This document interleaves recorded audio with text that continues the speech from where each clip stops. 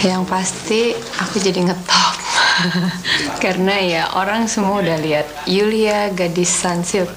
Selain sinetron, aku juga ditawarin presenter posisi legal di suatu bank. Yang pasti seru banget kita akan banyak kesempatan peluang segala sesuatu yang nggak bisa nggak semua orang bisa dapat yang pasti acaranya seru dan harus ikut karena nyesel banget kalau sampai nggak ikut.